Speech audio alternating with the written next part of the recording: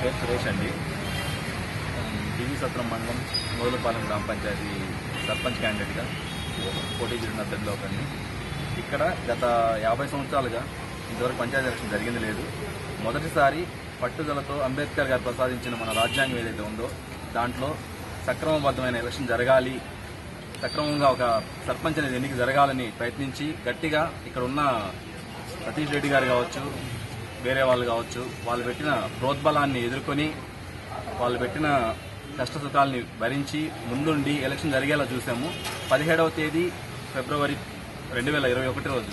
Election సక్రమంగా జరిగింది కానీ కౌంటింగ్ ఏదైతే ఉందో ఆ కౌంటింగ్లో వార్డుకి సర్పంచ్ కౌంటింగ్కి మధ్యలో నన్ను నాతో ఉన్న ఏజెంట్లని ఒక ఇరవై నిమిషాలు బయట పొమ్మని చెప్పారు.